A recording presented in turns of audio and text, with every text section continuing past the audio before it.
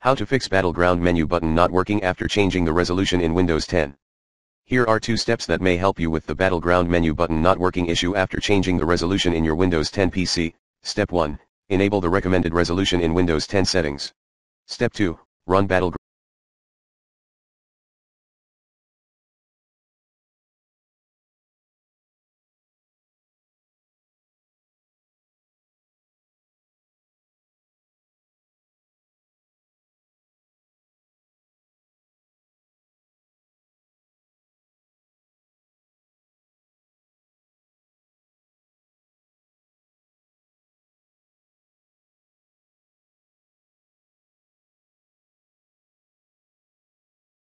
Dash press Alt plus Enter, change to window mode, dash choose a desired resolution.